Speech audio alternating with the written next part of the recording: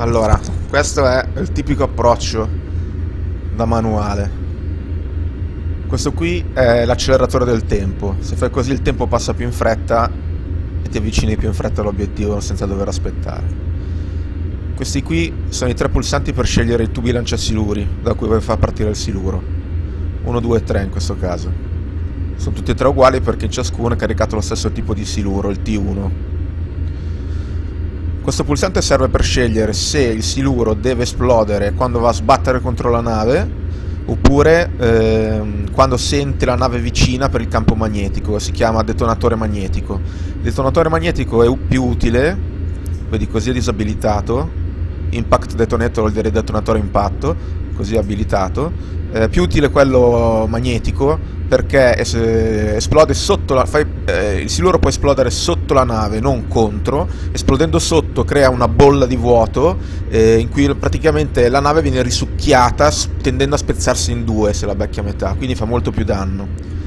Qui ci sono eh, due parametri dei siluri, la velocità che in genere si lascia sempre sui 40 e si può far scendere a 30 per sparare più lontano, vedi che questa linea verde si è allungata però dato che in genere si attacca, vedi adesso si è accorciata, in genere si attacca molto da vicino, per cui almeno io faccio così, non so, 1500, 1000 metri, ma vicino il più possibile per evitare di buttare via siluri, eh, si spara sempre a 40 nodi che così il siluro arriva prima. Questo qui serve per sparare una salva di siluri, cioè più di un siluro alla volta stessa, allo stesso obiettivo. Se faccio così e sparo, ne partono tre. Lo uso poco perché aprendosi a ventaglio i siluri, se la nave è piccola è molto probabile che uno o due dei tre non vadano, passino davanti o dietro la nave. Questo pulsante qui serve per agganciare l'obiettivo, vedi che adesso è diventato bianco. E... Sganciato, agganciato. Poi, beh, qui c'è la lista dei miei sottomarini, fa niente. Qui ci sono i comandi da, per il sottomarino. Allora, questo qui è la velocità puoi mettere o la velocità in nodi 9, 10, 11, vedi qui sotto che c'è 8 è il massimo perché sono in immersione. 7, 6, 5, vedi che si sposta. Oppure eh, utilizzare quello che eh, questo copia quello che c'era sui sottomarini veri dare mm, diciamo come dire delle velocità di massima. Quindi questo corrisponde a 3 nodi questo corrisponde a 5 Uh, questo corrisponde a 6 ovviamente più vai veloce sott'acqua più fai rumore più ti possono sentire. E non solo più ti possono anche vedere perché a periscopio su perché a periscopio andando più veloce fa più schiuma nell'acqua quindi ti vedono da più lontano. Questo qui è per, per girare. Tu immaginati che questo ago sia il sottomarino. Quindi se vuoi che il sottomarino ok gira a sinistra sposti clicchi a sinistra del lago vedi che gira a sinistra. Se vuoi che giri a destra, clicchi a destra. Se vuoi puoi impostare la direzione direttamente con le freccette in gradi, dove 0 è verticale davanti a te, eh, 90 gradi è come cliccare qui, eccetera eccetera. Vabbè, questo devi farci un po' la mano perché magari non è intuitivo. Se no, se clicchi qui puoi controllare direttamente il timone se invece scegli la direzione il timone viene controllato automaticamente, cioè quando arriva la direzione che hai scelto il timone viene messo a zero. Se invece clicchi a mano sul timone il timone resta bloccato nella posizione che scegli. Non serve molto, serve quando scappi dagli incrociatori. Questa qui è la profondità, profondità periscopio 12 metri. Qui serve, quando schiacci qui ti fa vedere più metri, serve per scappare, quando ti devi immergere, non so, 50 metri, eh, usi questo, questa visuale. Quando invece devi diciamo, controllare c'è profondità minori, usi questo. Con questo tasto vai a quota periscopio. Con questo tasto emergi. Con questo tasto fai il cosiddetto crash dive. Quando devi scappare di botto da un, da un attacco, se schiacci questo viene messo il motore al massimo e una, una, profondità di circa 50 metri così hai la massima velocità di immersione. Io non lo uso mai perché eh, col fatto che mettono il motore al massimo eh, ti sentono tutti i cacciatorpedinieri eccetera e quindi eh, peggio. Allora tanto vale eh, rimanere col motore a giri bassi e immergersi settando a mano 50 metri per dire. Ah, periscopio. Così il periscopio è abbassato e infatti non vedo niente. Vedo, sento, sento, solo da di la direzione dalla quale proviene il rumore di un'elica. Quindi Questa linea nera cosa vuol dire? Che in questa direzione viene prodotto un rumore da un'elica. Infatti se io tiro sul periscopio vedo che in effetti lì c'è una nave. La nave può essere fuori portata visiva ma essere a portata di periscopio. Scusami, può essere eh, a portata di periscopio, eh, può essere a portata dell'idrofono, cioè tu puoi vedere la linea nera senza che sia ancora visibile col periscopio, ok? Questo qui è il periscopio d'attacco, questo qui è il periscopio d'osservazione. In genere si usa solo quello d'attacco perché quello d'osservazione eh, ha solo un angolo di visione più ampio, ma non serve praticamente a niente. Vedi, cioè questo angolo è più grande, quindi puoi vedere più mare eh, allo stesso tempo. Ma in realtà alla fine la differenza è così poca che si usa sempre il periscopio d'attacco. Questa qui serve per impostare la profondità eh, a cui viaggia il siluro, che deve essere circa un metro sotto il pescaggio della nave, così esplode sotto la nave. Ok? Vabbè, qui batteria, benzina, qui quanto sei visibile, ma sono cose che servono a poco. Questa qui è la mappa. Tu sei nero, eh, i quadratini sono mercantili, mentre i, triang i triangolini sono, sono tra gli aerei, ma non li vedi mai, e invece i rombi sono le navi da guerra, che in questo caso non ci sono. Allora, qui c'è una nave sola, e il metodo d'attacco migliore è circa quello che vedi qua. Tu vedi che la nave ha questa rotta, se la, puoi, se la vuoi vedere meglio puoi farci una riga, una riga così. Ecco, giustamente se è impallata non me la fa fare. Vabbè, tu puoi disegnare sulla mappa, gli fai, fai una riga che passa attraverso, attraverso la nave, eh, così hai una vaga idea di, della sua traiettoria, che è la sua rotta, che è circa così. Ok, tu ti devi mettere l'ideale, eh, questo ti parlo dell'ideale, non è che sempre puoi fare tutte queste raffinatezze.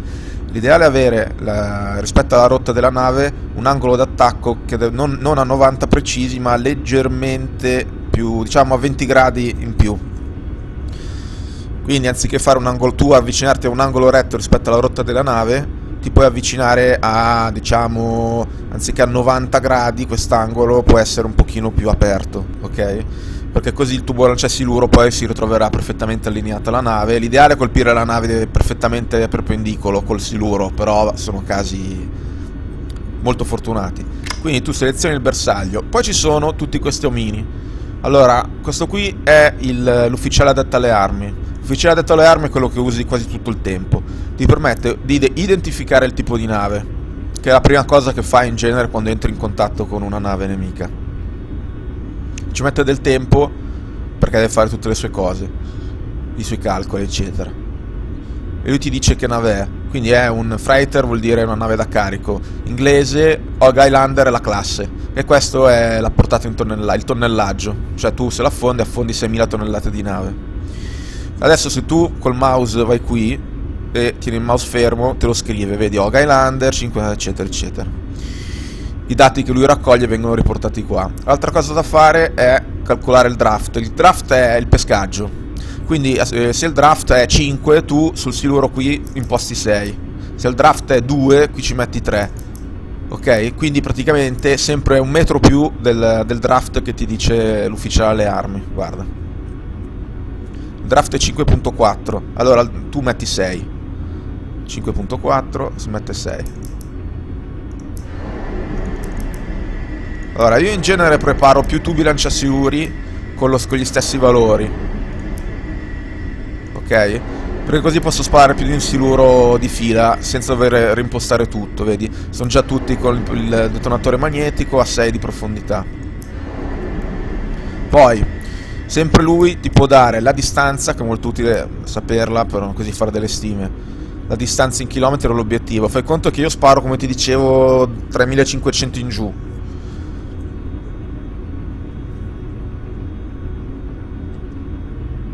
Eh, siamo a 5400, siamo molto lontani. Poi ti può dare la velocità che ti serve di massima per farti eventualmente dei calcoli sulla tua rotta quanto tempo ci impieghi, oppure per vedere se i cacciatorpedinieri che qui non ci sono, sono diciamo a velocità di crociera stanno attaccando qualcuno, che passano tipo da 12 a 25 nodi. Qui questo qui va a 9 nodi, ti serve anche per regolarti rispetto alla tua velocità, che è questa qua eh, così puoi sapere se sei più lento o più veloce in questo momento. Per esempio, se sei ad angolo retto ti metti a 9 nodi, cosa che questo sottomarino non raggiunge in immersione, tu sai che se sei ad angolo retto state convergendo alla stessa velocità, eccetera. Questo qui serve per calcolare una soluzione di lancio per i siluri. Esempio, scegli un tubo lancia siluri, ok, e poi fai così. E si mette a fare i suoi conti. Prima calcola la distanza dell'obiettivo.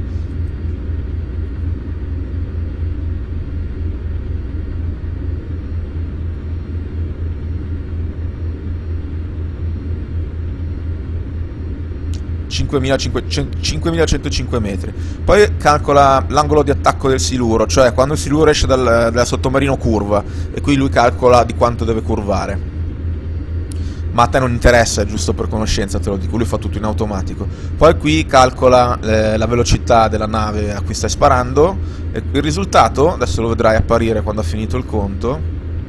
Ecco, questo è il punto in cui sparerà il siluro, cioè se adesso faccio fuoco il siluro parte lungo questa traiettoria e va a colpire, diciamo, questa è una proiezione della posizione futura della nave quando il siluro andrà a bersaglio, che già non è male, però siamo troppo lontani. Quindi praticamente prima di sparare un siluro tu devi fargli fare questa cosa, fargli finire questa cosa. Ci impiega del tempo, per cui va tenuto in conto.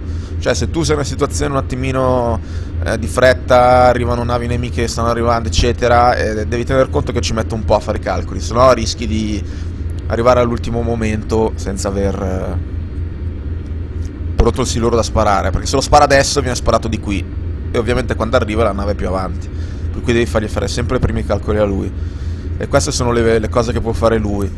L'ufficiale dell'osservazione può mettere, o può fare poche cose, mette la gente a sparare al cannone antiaereo, oppure questo è importante in certe missioni, eh, il riconoscimento delle navi, perché certe missioni ti dice che devi eh, fare questa operazione su tutte le navi di un convoglio per trovare quelle che vuole lui e la missione è solo quella. È difficile perché devi rimanere nascosto. Questo invece fa delle cose utilissime. Il crash dive, che è uguale a questo, non si usa quasi mai. Questo qui non si usa mai perché lo fa automaticamente. Quando sei in superficie, eh, clicchi qui, carica le batterie con i motori diesel. Perché in superficie si va a diesel, immersi si va a batterie. Questo è utilissimo. Quando tu sei in silent running la velocità viene messa al minimo, la ricarica dei tubi lanciasiluri viene bloccata e tutto l'equipaggio non fa rumore, rallenti molto, infatti vedi due nodi e non fai più rumore, ti sentono molto meno. Contro una nave come questa non cambia nulla, invece contro i cacciatorpedinieri cambia tutto perché non ti sentono più, non sanno più dove sei, eccetera. Questo qui è l'ufficiale alle... come si chiama? Quello che fa le rotte che non serve a niente. Questo qui ti può dire quanto la profondità sotto la chiglia, però fai rumore, ti sentono e non, è, non, è il gran, non, è un, non si usa praticamente mai.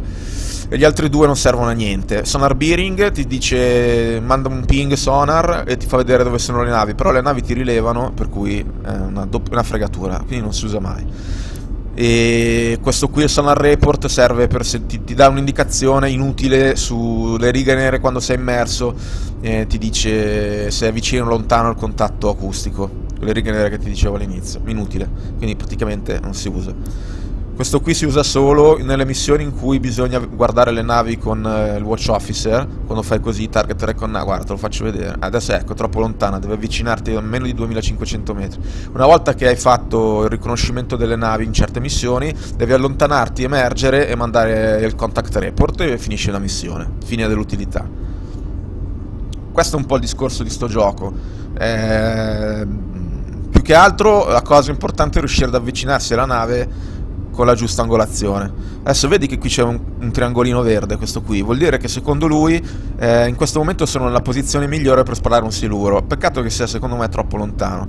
Allora adesso facciamo una cosa che non dico sia un trucco ma ci si avvicina, che è andare a 7 metri di profondità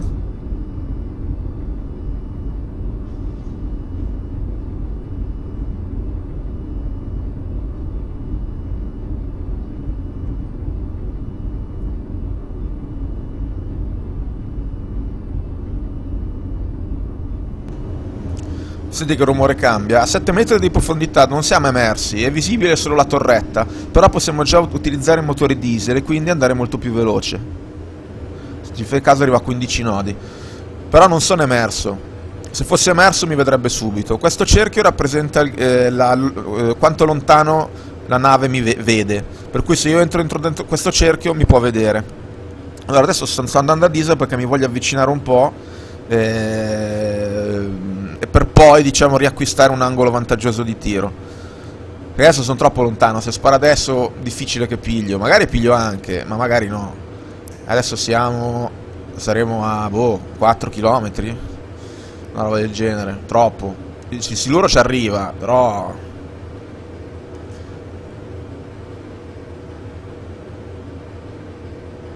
Siamo a 3687 metri, io sparo dai 1500 in giù.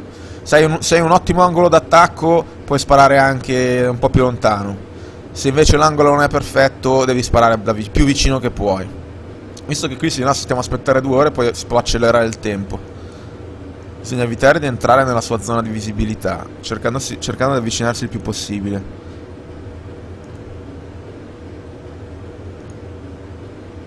Qui stiamo ancora andando a motori diesel.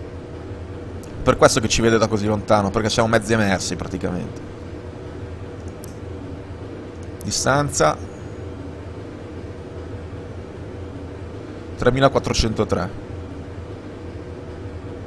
Se noi guadagniamo rispetto alla rotta della nave un certo vantaggio in termini di, di, chilometri, poi possiamo girarci, avvicinarci più lentamente o in immersione addirittura con più tranquillità. Se invece gli siamo addosso e siamo in una posizione tipo qui, se fossimo dietro, non riusciamo a sparare un siluro con un'angolazione vantaggiosa, per cui praticamente certe volte devi proprio mollare, perché se non, non la raggiungi più la nave va più veloce di te, sempre se tu sei immerso. E per avvicinarti abbastanza da sparargli sui 1500 metri devi essere sempre immerso perché sennò ti vedono. Possiamo anche scendere un po' fai a 10 nodi che in immersione non ci andiamo, possiamo fare una rotta un pochino più stretta, così ci avviciniamo. Poi uno continua a controllare la distanza finché più o meno 3100 è sempre un po' tanto. Altre volte una cosa che faccio, anche se un po' noiosa, tu vedi un attimo, se mi facessi disegnare sarebbe bello, tu vedi un attimo... Oh, la sua, la sua rotta, ti metti già in una posizione buona e poi lo aspetti. Lui piano piano arriva, fin quando arriva nella, in una posizione ottimale di fuoco tu spari il siluro. Tu sei fermo, immobile nel mare e non ti vedono perché non fai scie, non fai rumore, non fai niente, sei quasi invisibile.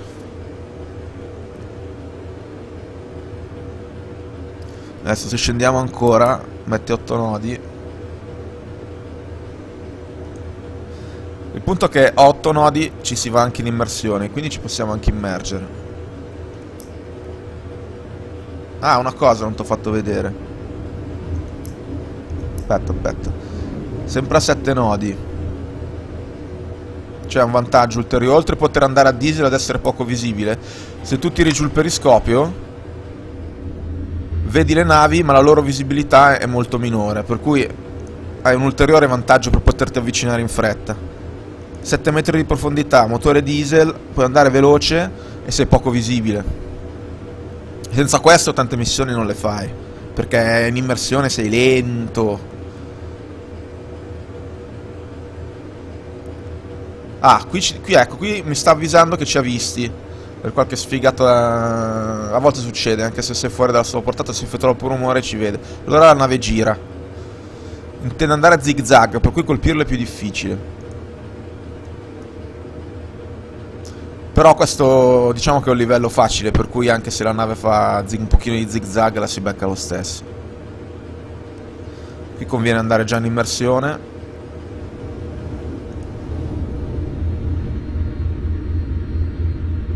Vedi il suono dei motori cambia perché adesso stiamo andando a diesel. Così agganci il bersaglio allora, così occhio, se andiamo a questa velocità ci avviciniamo troppo. Quest'angolo qui,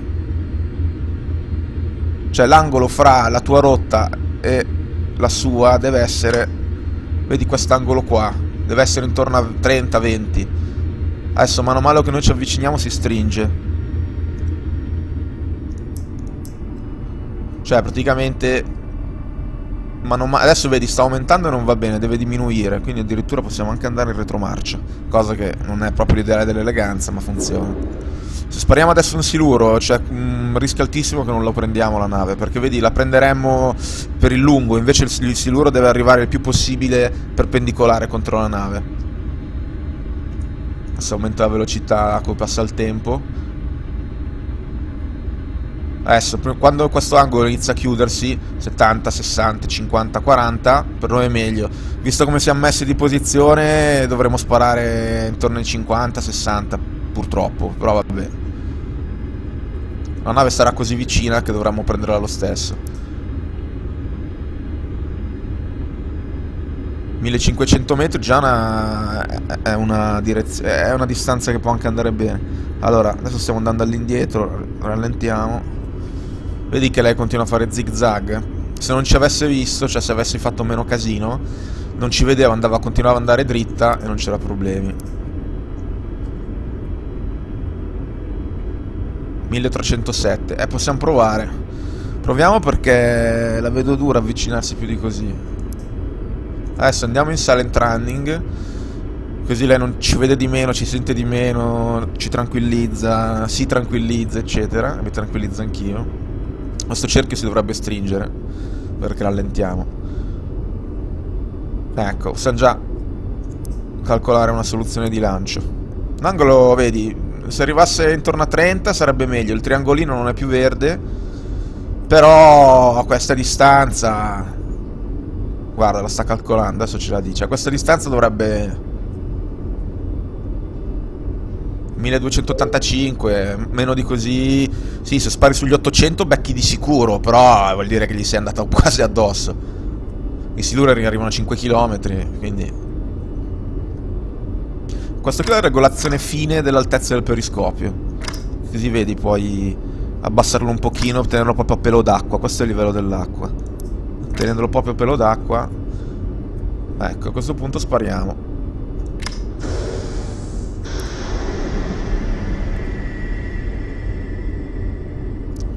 Siluro è impostato a 40 nodi, quindi va molto veloce. La nave va a 9 nodi. Intanto quest'angolo continuerà a chiudersi poco a poco. Adesso la nave sta facendo un po' di sterzate per eh, ingannare i siluri, per cui non è detto che prendiamo.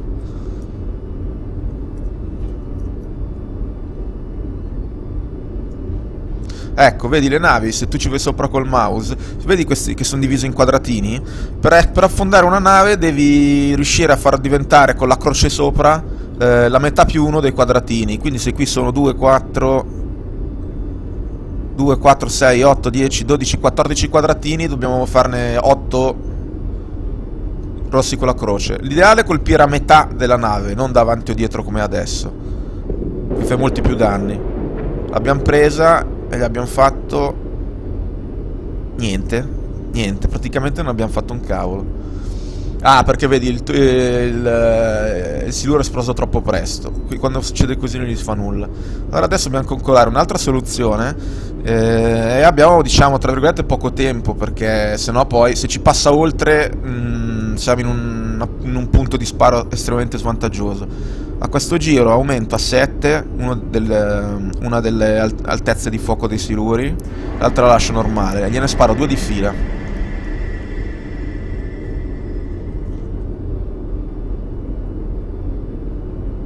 Non abbiamo fatto assolutamente nulla con quello di prima. Allora, c'è un mezzo trucchetto per cui con una sola soluzione di tiro puoi sparare più di un siluro. Faccio vedere. Lui la calcola tac, spari il primo siluro, cambi tubo, poi ti sposti con il periscopio dove vuoi tu spari il secondo. È un trucco nel senso che così ti risparmi di dover ricalcolare tutto quanto, eh, tutta la soluzione di tiro per il secondo siluro. Perché in certi casi i siluri devono essere uno dietro l'altro, se no la nave colpita, soprattutto quelle veloci, cambiano direzione, fanno tutte le loro cose, non le becchi più. Quando sei in silent running i tubi e i siluri non vengono ricaricati. Quindi possiamo anche uscire dal silent running. E vedi che i siluri vengono ricaricati in 110 secondi uno. La nave curva, vedi, ha curvato verso sinistra per ehm, cercare di evitare i siluri.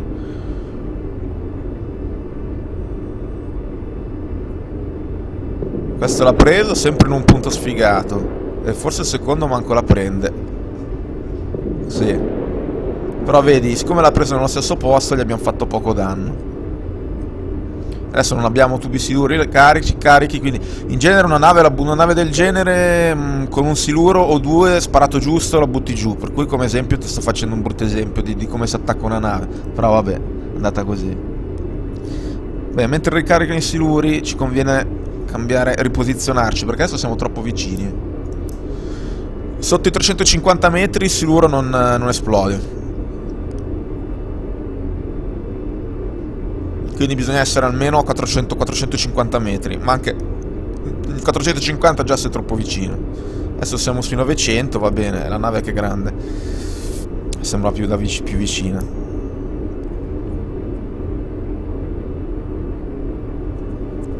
Per la profondità del siluro, qui è draft 5.4, quindi puoi mettere o 6 o 7. Prima è esploso troppo presto, vuol dire che probabilmente ha sentito il campo magnetico troppo presto, per quello poi il secondo siluro che abbiamo sparato l'ho messo a 7.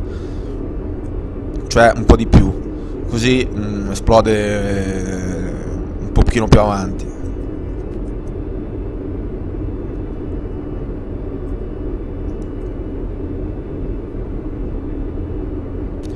appena viene carico perché adesso non possiamo calcolare una soluzione perché mi dice che non ci sono eh, tubi flat, tabs flooded vuol dire tubi lanciasinuro allagati cioè con, con dentro il siluro quindi detonatore magnetico la mettiamo a 7 metri e gli facciamo qui ecco quando fai un calcolo è meglio se il timone è dritto così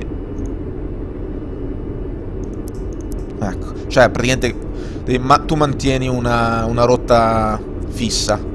Così calcoli per lui sono più facili.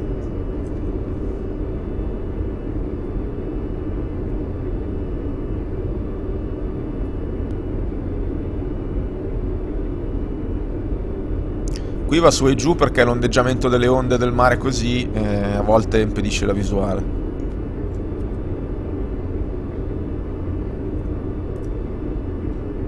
Facile che ne servirà un altro ancora di sicuro, perché sta nave è bastarda.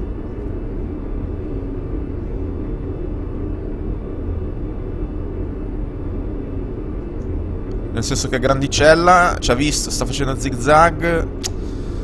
Vabbè, vediamo.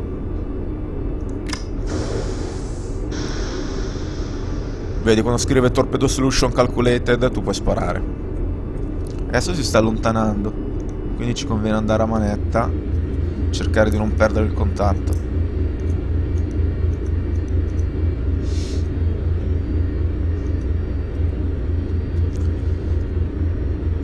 perché essendo un mercantile non scortato potremmo anche emergere e tirargli le cannonate ma purtroppo questo sottomarino non ha il cannone. Questo sicuro non va sicuramente a segno. Ah ci dobbiamo proprio avvicinare parecchio.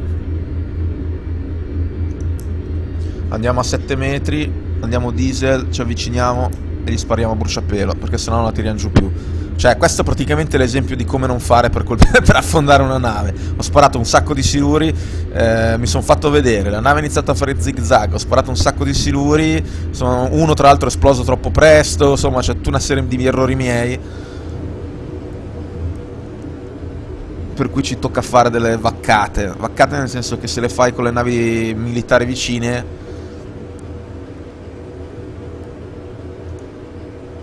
ti affondano. Tra l'altro questi siluri si vedono quando vanno, fanno le bolle per come sono fatti, per cui le navi hanno più facilità a evitarli, che li vedono arrivare. Specie se sono sul chi vive come adesso. Vediamo a che velocità ha. Io vado a 15 nodi di massima. Lei va a 6, per cui per raggiungerlo la raggiungiamo. Bisogna vedere se riusciamo a sparargli un siluro come Dio comanda. Distanza 848. Eh, già andrebbe bene da qui, però con tutti questi zig zag 771. Allora, a questo punto proviamo, è l'ultimo siluro che abbiamo. Solo che a meno di questa distanza non ha senso sparargli. Non si becca, cioè non esplode il siluro.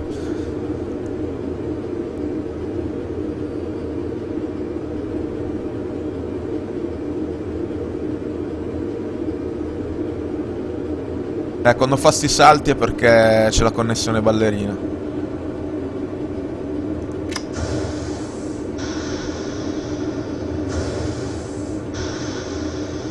Eh, vedi, fa, eh, vedi sto simbolo, quando fa così... C'è la connessione ballerina, adesso chissà che cazzo avrà fatto.